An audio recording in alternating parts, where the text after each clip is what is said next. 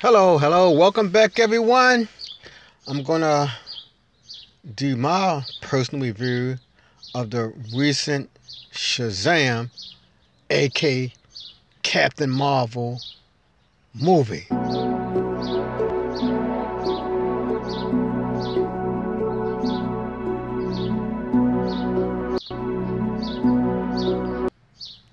If you haven't seen a movie already, I highly su- suggest that you go see it.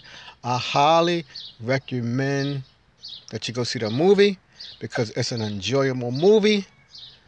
It's it's constant, it's non-stop entertainment. Even in the low moments, it kept me entertained. But the purpose of this, like I said, the purpose of this little segment is my review of the movie. Now, I've been reading comic books for over 30 years, so before I get into my movie review, let's take a little trip down memory lane. Now, I was not born in 1930 or 1940. I was born in close to 1970. So, in the early eras of the 21st century, Captain Mark, I mean Captain Marvel, aka Shazam, was invented. From what I heard, he was a clone of Superman.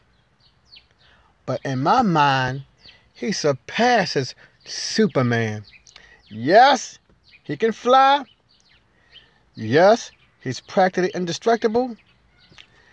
Yes, he's super strong, has endurance, and has super speed, just like Superman. But the major difference between him and Superman, those are Superman's staple powers. They will not change.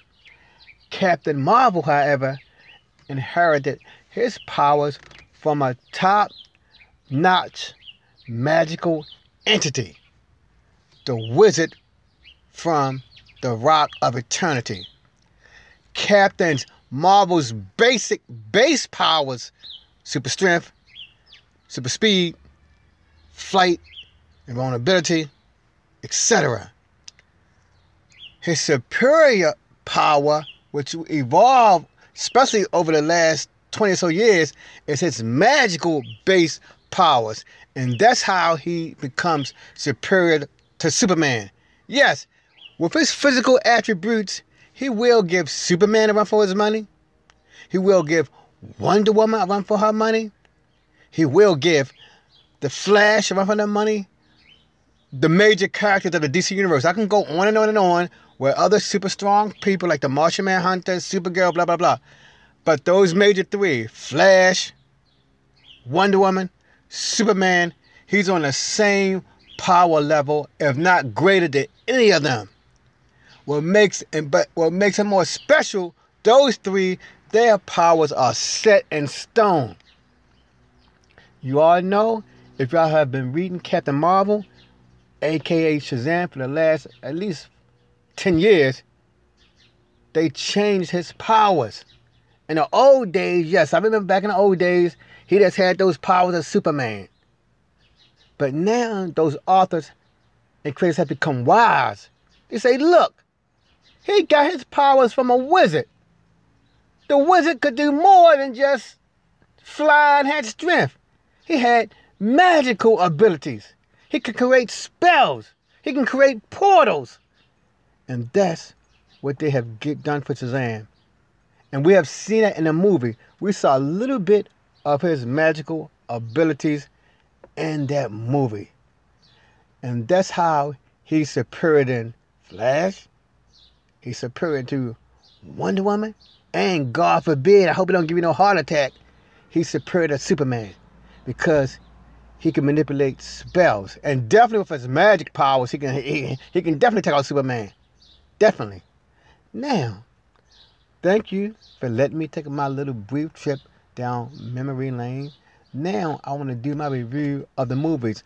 I'm going to try to the best of my ability not to give any powerful spoilers to turn you off from going to see the movie because I still highly recommend it.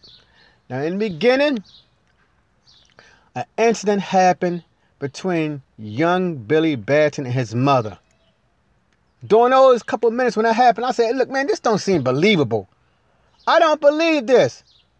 Cause I'm, cause if, if something happened to a child, a parent would do X, Y, and Z to find their child. That parent, it didn't. It just seemed like that was a weak plot in the beginning. Like I said, I'm not going to tell you what happened between him and his mother, but I said something happened to him, and I said that don't seem um, that don't seem believable. Because a real parent, a loving parent, would do everything they can to do something for their child, but she didn't do it. And we learned later on in the movie why. So when we discover why she didn't do what she did, that made the movie seem more realistic and understandable to me. So that's what that's part one of my review. Number one, the ordeal with his parent. The second thing I found appealing appealing about the movie is how Billy approached the um, Rock of Eternity. This not no spoiler because you've seen it on those commercials. He was on a subway train, and uh, that subway train took him to the Rock of Eternity. But what I like about that, but what's not in the movie, but you know from common sense, you know from common sense, the wizard probably didn't just evaluate Billy. If he was a real wizard, you would evaluate multiple people until you found what he want. And you can see it from the movie and from comic books. The wizard, he was satisfied with Billy. Before Billy, he had other people. What I liked about it, with those other people that the wizard found, there was multiple ways of getting to that rock of eternity. And you will see that once you review the movie. It just was not no one way of getting there everybody did not have to be on no uh, subway car to get there. Since it's a magic based entity and magic warps reality in a way, there were multiple ways of seeing the wizard and being evaluating to be evaluated by him. That's number two. Now, my third thing, I did have a little description with with this. I'm not going to say I'm not going to get no spoilers, but when he evaluated some of the people, he did a certain technique. If you see the movie, you'll know what I'm saying. He gave those other people a certain technique and a criteria. When he met Billy, he basically just handed the reins over to Billy to here, you the Zam. For for some reason, he didn't put Billy to the same testing that he did with those other people. He did not do it. He gave Billy the stick, as you saw in the commercials. He said, say my name, and zam, he became Zam. But Billy, from what I saw in the picture, he did not go through the same testing as those other people. And he was a regular person. He was not honest Sam, gentle Molly, sweet Louise. He was a brat as you saw before he got to the Rock Eternity. He was manipulating certain people in the movie before he got there. So he was not Sweet Simon. Now, one thing that's different from, I guess, all the other people who evaluated him, as you saw in the movie, not the movie, I'm sorry, you saw in the trailer, Billy did start talking to the wizard. He said, wait, blah, blah, blah, blah, blah. I don't think the other people did that. They just was there helpless. So that's one good thing about. So I, I guess that's why the winner probably chose Billy because he was able to think quickly on his feet. Other people didn't talk to the wizard like the way he did. So that that probably probably impressed the wizard. This young man might have potential. He's willing to talk to me. He's making he the wizard the wizard probably was thinking he's able to make me re re evaluate the way I'm doing things. So that could have been why the wizard chose him. That's another part. Now, another part that interests me is how he was experimenting with his powers. Shouldn't a wizard, if I gave you incredible abilities, incredible, well, I can't say incredible wealth, because I guess getting superpowers like becoming rich all of a sudden. You know, like a lot of people, when they hit the lotto, they become instant millionaires, that's like getting instant superpowers. Five years later, they lose every last cent. So I can't complain that much about it. But if I was the wizard, I would at least give you a little idea what you had. But the wizard after he gave Billy the powers, something happened to him quickly. So he, he didn't even, he did not even stay around and give him the instruction manual to say how your powers operate. He just he just said, "Here you go. You got my ability, got my abilities. Good luck in figuring them out." That's what the wizard was saying. Good luck and figure it out. I don't care if you accidentally crush a person. I don't care if you accidentally topple a building. I'm not going to tell you what you can do. You got to figure it out yourself. Like I said earlier, I guess I can understand it a little bit because I don't think when people be, I don't think when people become instant millionaires, I don't think there's no little course to tell them how to handle your money. From what I know, I never hit the lottery. They just get their money. Five years later, they blew every last cent, and you know that money is like a superpower. You can do it almost. If you if you get a hundred million dollars, you basically can do almost anything on the planet that you want to do. So that is a superpower. So my, my little gripe was the wizard didn't give Billy no heads up what he could do. I do like now there are some things I do like about the opening scene. This is no spoiler. If you know about Shazam, you know about these characters. You all heard about this for years. You all heard about a Black Adam movie being made. I'm not spoiling anything. So the wizard did give Billy a little heads up on Black Adam. He never used the name Black Adam, I don't think. I could be wrong. If you see the movie, correct me. Let me know. Did he use the term Black Adam? I don't know. He did slightly introduce Black Adam. And if you notice, he introduced one of uh, Captain Marvel's, A.K. Shazam's, most prominent enemies. that little worm. Mr. Mind. I like Mr. Mind. I like him. That's one thing I did like about Captain Marvel too. He got he got silly he got silly enemies. I know I guess made back in 1940 they didn't want to make the enemies too devastating. So most of the enemies are silly and comical looking. They got powers, they devastate and all that, but they still look silly. Like Mr. Mind, a little teeny worm. I'm not gonna tell you where he fits in with the movie. You have to see yourself to see Mr. Mind. But he's there. So, like I said, check out the movie, go see it, and you will see Mr. Mind. Now, when Billy and Freddie was investigating the powers, I do like how now in this modern era they giving Shazam the powers of Zeus. We can actually see it. When I was growing up in the 70s and 80s, I loved Shazam he was one of my favorite heroes because he was on with Superman. He was on par with Superman. That's what I love about him. But I say, damn, he got the power of Zeus. I don't see the power of Zeus. I don't see no lightning bolts or none of that coming from him. You all know I'm telling the truth. Back in the 70s, 80s, probably 40s, 50s, 60s, he said he got the power of Zeus, but where was it? But luckily, within the last decade or so, they said, okay, let's let's upgrade this character.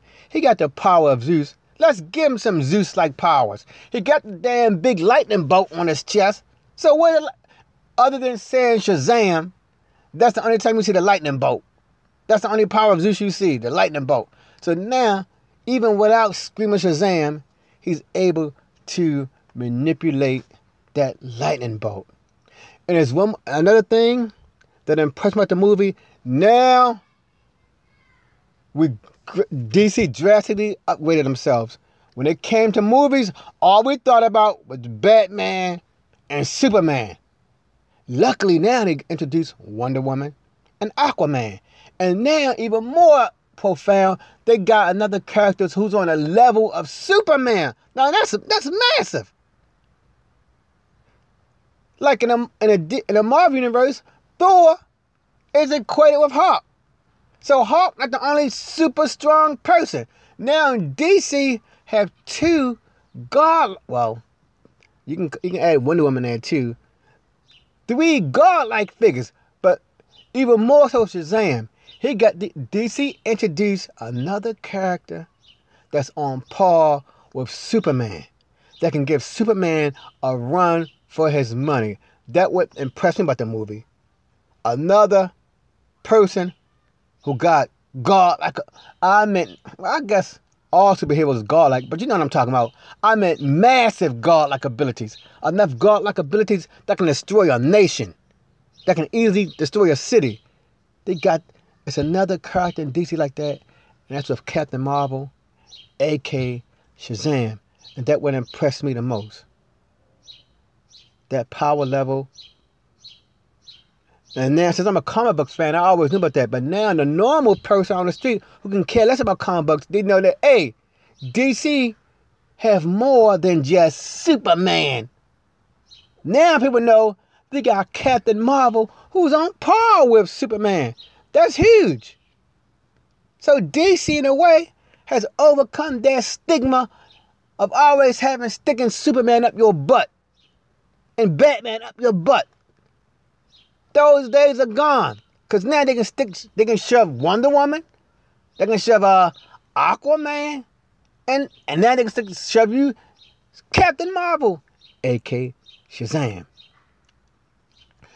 Back to the powers, it was interesting how uh they was learning about his powers. And I was very impressed with that actor playing a role or acting like he was still young. He was very convincing. That's why I think you should see the movie. The actor who played Captain Marvel, Shazam, Billy Batson, even when Billy transformed into that adult powerhouse, the adult figure, while massive and huge and muscular, still tried to act like a 15 year old boy. That was massive.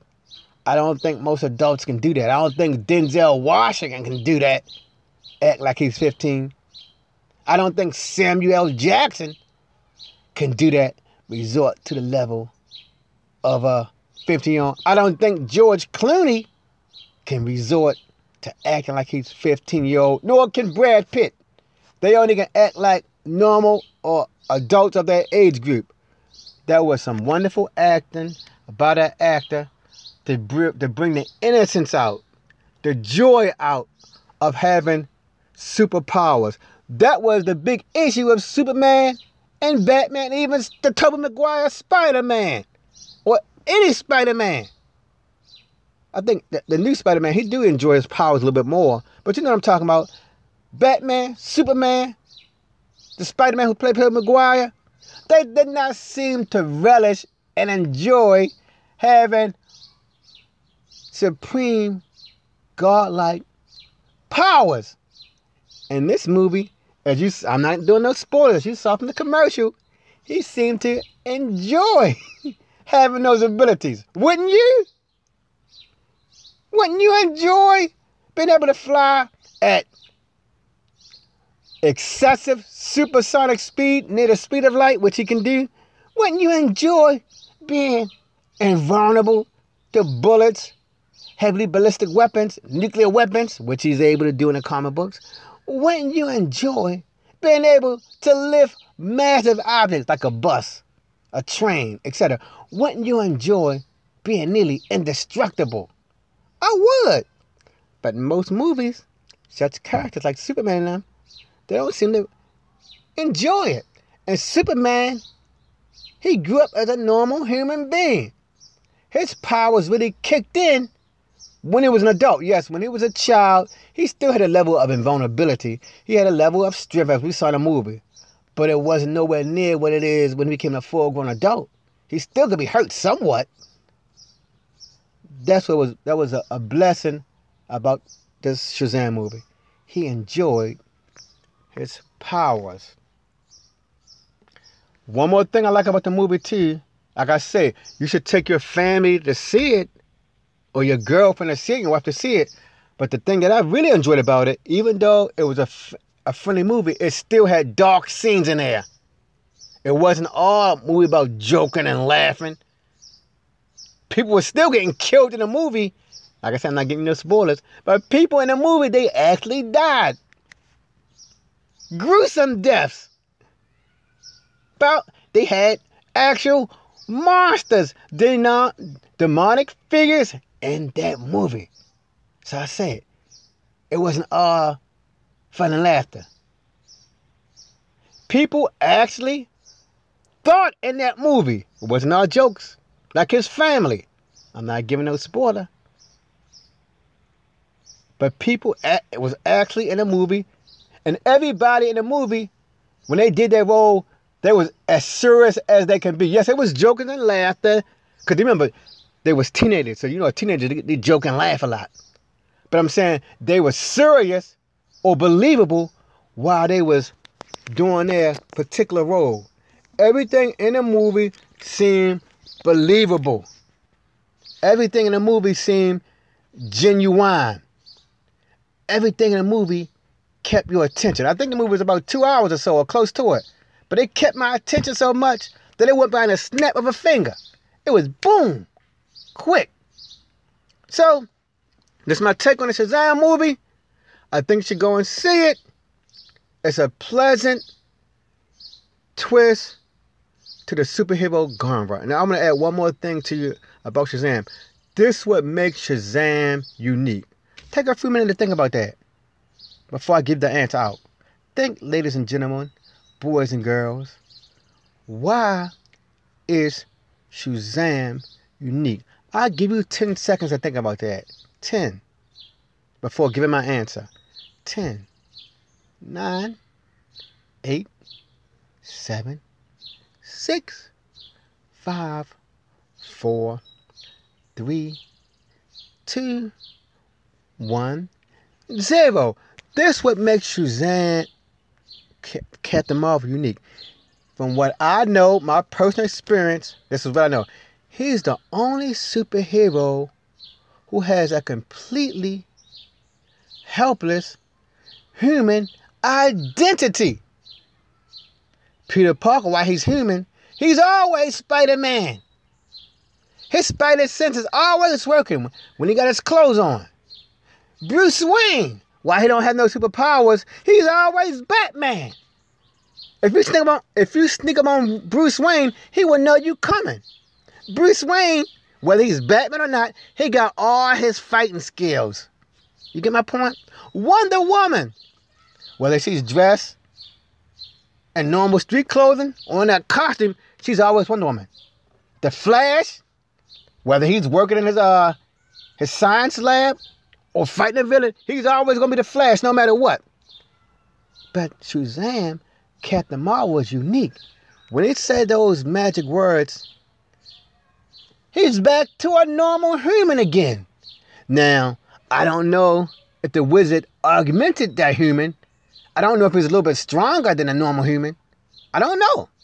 But from what we see, he look like a normal human being again who can get shot by a bullet and get killed. He get his foot stuck into this, and he get his foot jammed in the door. He scream out with profanities. Ow, I've hurt my blinking foot. You walk on his foot, it hurts. It's, he scream out. When he turned to a human, Captain Marvel, Shazam, he's normal again. Completely from what we know. From what we know. When he said those words Shazam, then he become the godlike figure. That's unique. Tell me if you know. Do you know of any other character in comic book like that? Who's completely normal. And he's oh wait. There's others who may be normal, then become godlike, but they may be an adult. They're in a point A, they're an adult. Point B, they're an adult but with powers. No, he's completely different. Point A, he's a 15 year old adolescent. He say the magic words. Point B, he a, he a 30 year old man with vast godlike abilities. That's unique. That's unique. That's wonderful. If you know of any character like him, please let me know in the comment section. And one more thing I like about his powers too the wisdom of well, oh, I said I'm not gonna get no spoiler. I'm not gonna get no spoiler, but I'm just gonna tell you. I know the S stands for the wisdom of Solomon. Solomon.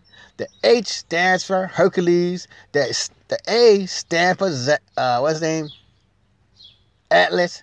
The Z stands for Zeus. The A again stand for Achilles. The M stand for Mercury.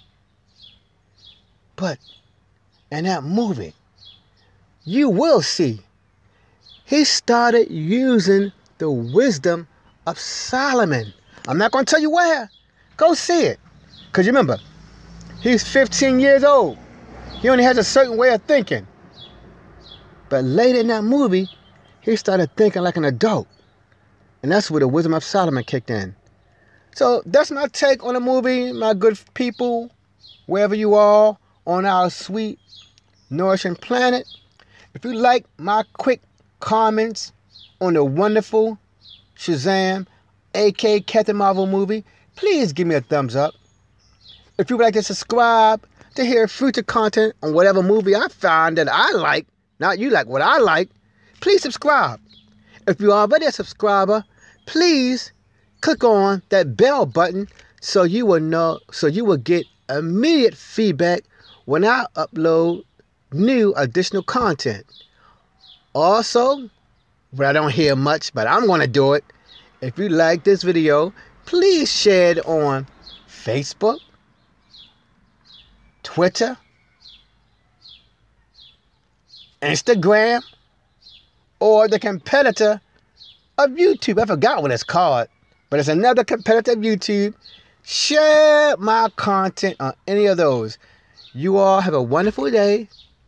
And again, I stress that you should go see that Shazam, aka Captain Marvel movie, because it will not make you fall asleep like the uh, Captain Marvel did from MCU.